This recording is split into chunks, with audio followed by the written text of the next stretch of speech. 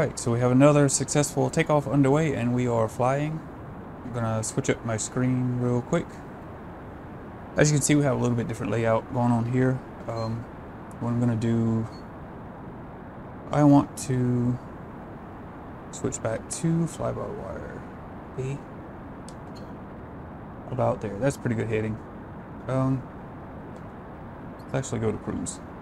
So yeah, um, as far as what's going on on the recording stuff up here.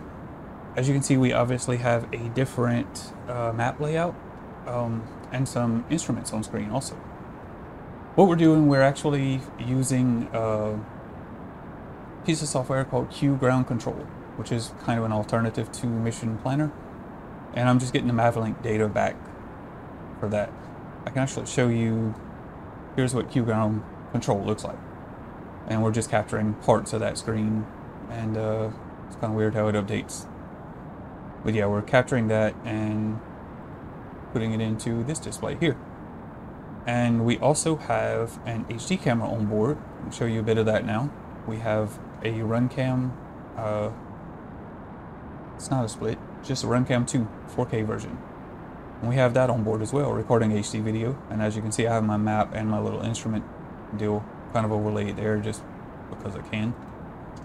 But yeah, that's the uh, analog screen. And uh, I'm actually going to gain a little bit of altitude.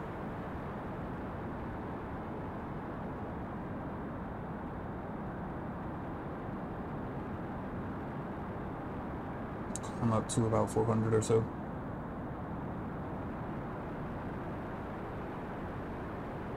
and this is the first time I've got to fly it. Obviously, there's still a wind speed. Uh, you know, there's still some. It's showing about a 5.4 miles per hour wind.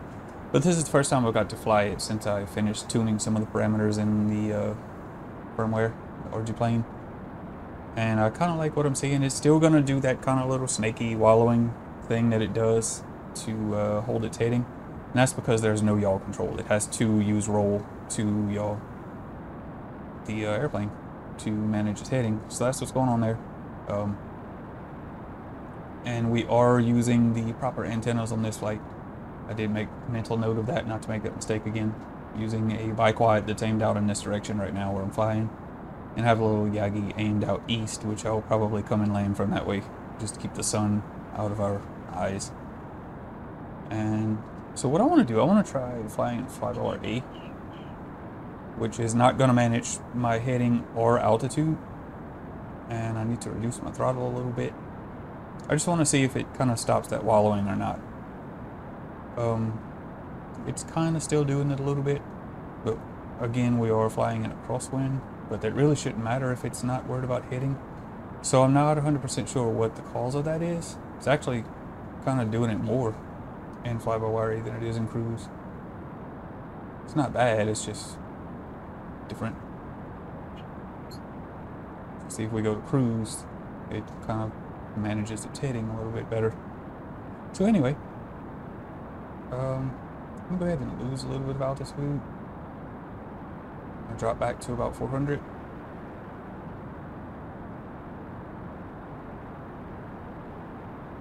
And yeah, I guess we're just gonna kind of fly out toward the river here and uh, kind of keeping an eye on my RSSI.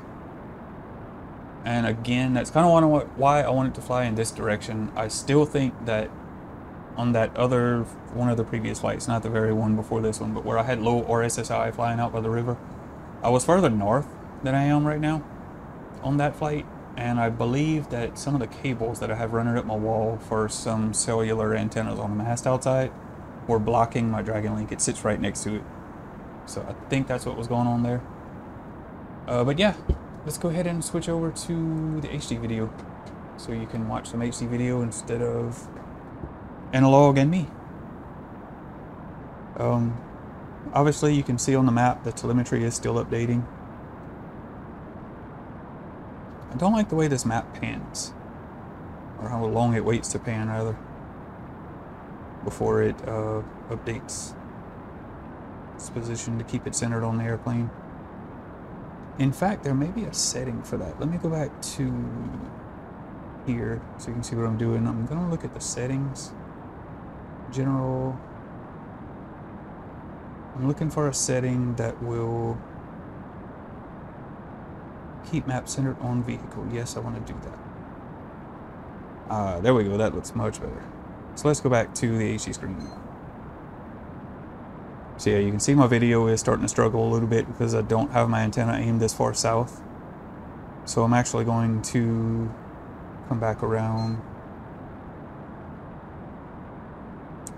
Pretty cool shot of the bridges with the sunset behind them. Hopefully it looks good on the HD. Um, I guess I'll head out this way until we lose video.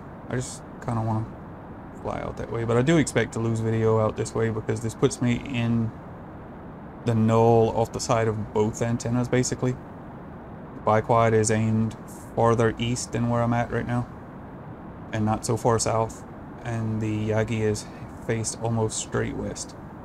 So I'm kind of flying off of the side of both of them right here, in this general area. But... Yeah, the RSSI seems to be working totally fine out here.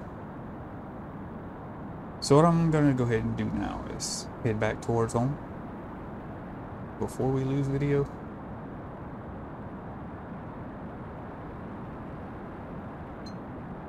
So my video is getting a little bit grainy.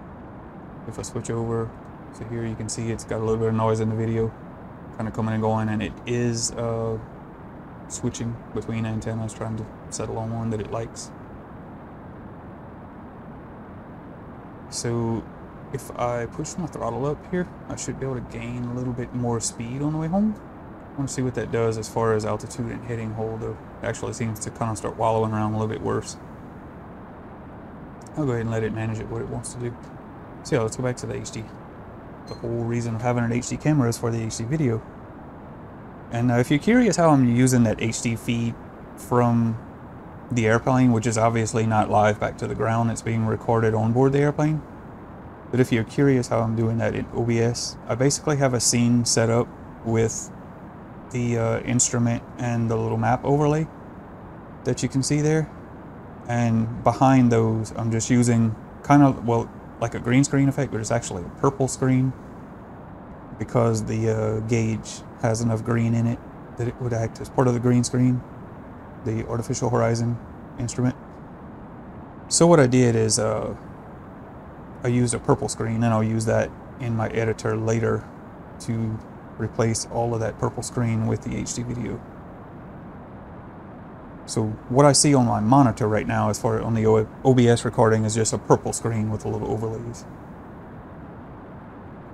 But yeah, I'm just kind of flying right now. I'm kind of curious to see if it affected the efficiency very much, having the Runcam strapped on the top. I'm using the, the uh, DJI canopy that has the place for the little DJI unit to mount on the top. And I have the, uh, the Runcam 2 4K strap there with a little Velcro strap, just looking off the nose recording. But so far the efficiency numbers seem pretty good considering the wind and everything. It's a little bit higher than it was previously, but there was also less wind that for that flight. But yeah, I, I don't like the way it, it just constantly hunts left and right. I'm actually going to fly manual from it. And try to get it flying straight and level hands off. And see, well I guess you can see on the HD too. It seems my trim is off just a little bit, which I am using auto, auto trim, so it should be managing the trim for me. But it is off just a tiny little bit, and that could be an effect of the wind too. It may have trimmed the airplane while it was fighting a wind gust or something like that. I'm not 100% sure how that works. But yeah, it, it stops that hunting, so it, it that's part of the tuning is causing that. It's not a fault to the airplane. You see the airplane is actually flying quite smooth. In just straight manual mode.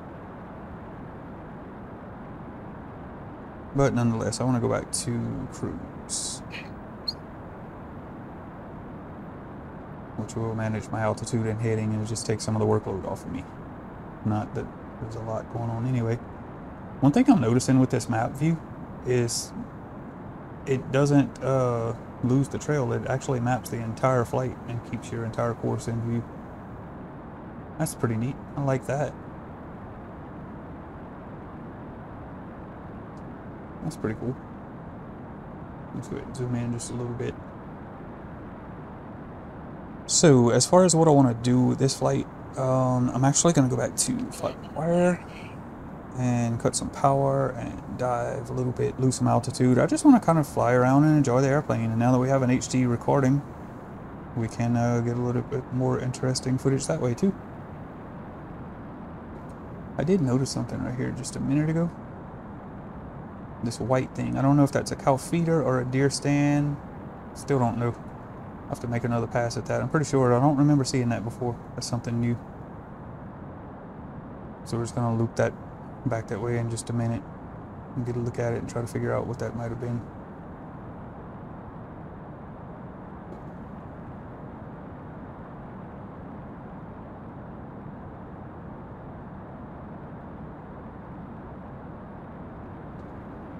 Still can't really tell.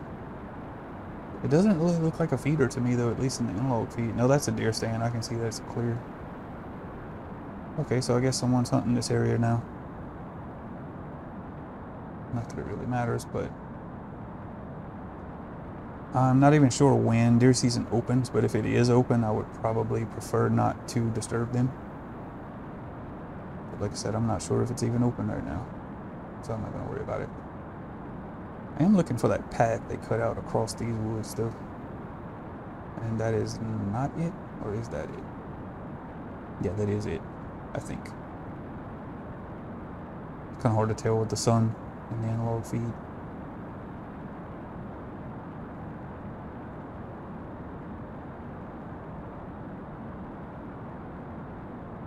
But yeah, this is that new path they cut a few months ago. I'm just kind of wondering if they set up a stand or something out here. Yep, see one right at the end. Kind of expected that, but anyway. So now let's uh, fly back over this way and you'll probably hear my antenna switch once I get off of the biquad and back onto the Yagi antenna which is aimed out to the west. We're going to fly out toward the west. Actually going to gain a little bit of altitude or maybe not. It actually seems a little bit smoother down low so I'm going to stay down low. I'll fly down here where it's a little smoother. But yeah, I wanted to fly out here. They burned that field again. The sugarcane field that was in one of my recent videos. And there's my diversity controller switching video. Um, most of that field burnt, but some of it didn't. They came back, they set that on fire earlier today. I was just kind of curious if it all burnt or not. And it looks like it did, actually. Yeah, the entire field is black now. It's pretty, pretty weird. Unusual.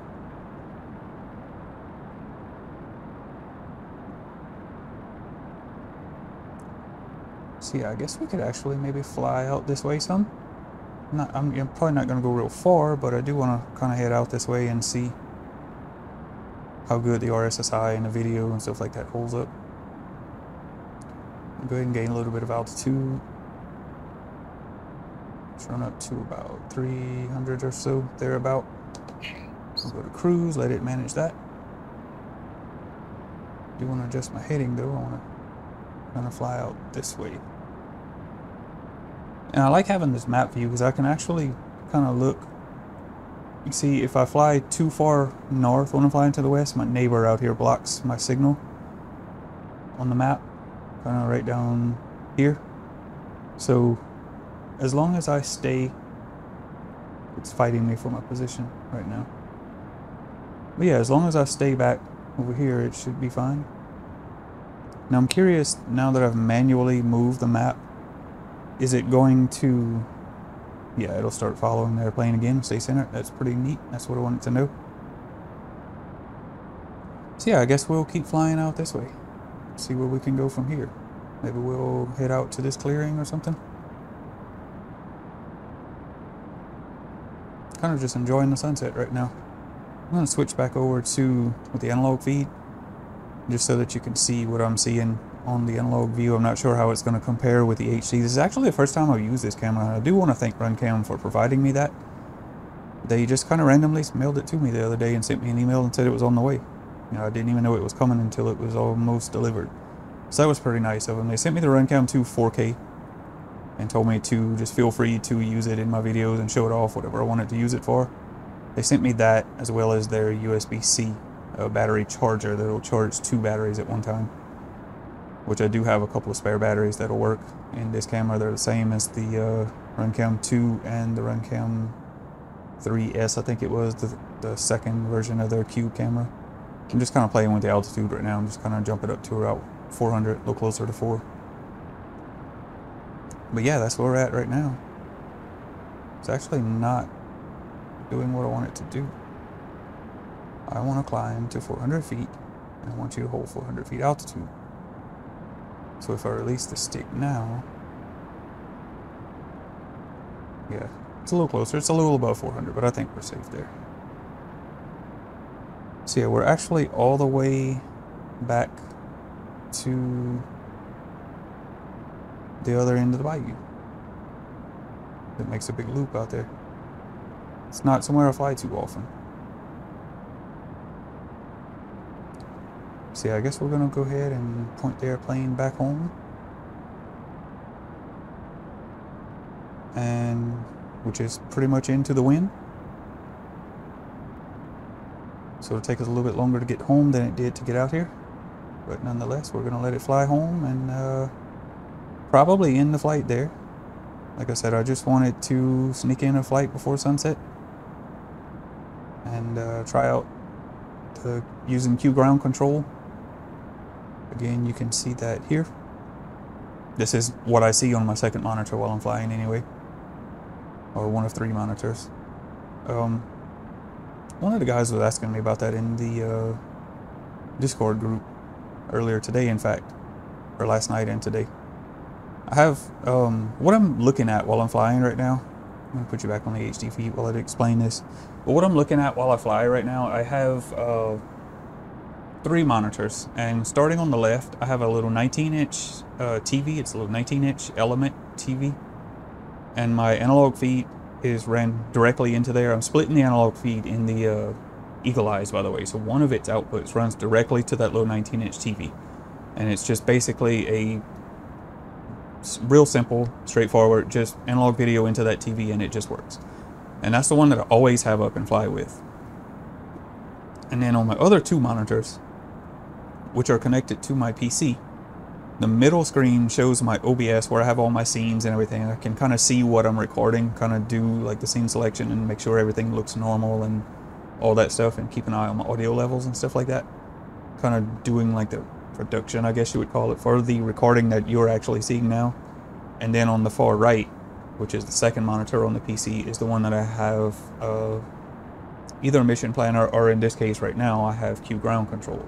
Kind of gonna adjust my heading real quick so that we keep us flying more home. We're headed a little bit too far north. So I can show you, I'm actually doing a display capture which is this monitor. This is my second monitor that has Q ground control right now. Or if I was flying with Mission Planner, it would be Mission Planner instead, obviously. Um, and I'll kind of give you a run through of what I can do here. I can do like return to home. Actually not sure what these buttons do. Maybe they do different stuff as far as like a mission or something. I'm not going to play with that in the air, obviously. Might play with that on the ground at some point and try to figure out what it does.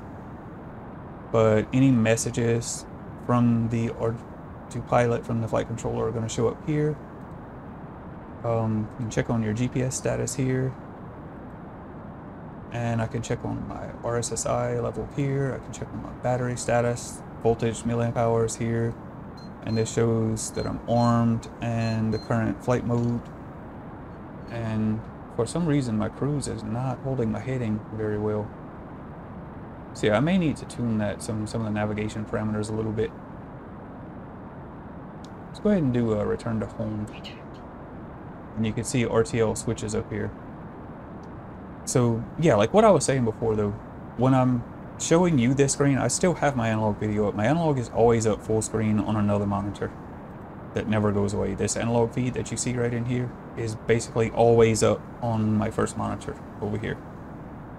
And so yeah, let's just go ahead and uh, finish out with the HD flight, HD recording rather, finish the flight. What I do want to know though is, see I have a rally point which is set out here on the map. It's set right out here on the map. And I want to know if it's going to circle that rally point or circle home where I uh, armed the flight controller. Because the last time I flew, I don't know if my rally point was set properly or not, but it didn't circle the rally point when I thought it should have. So yeah, we're going to let it go ahead and do its thing and see what happens.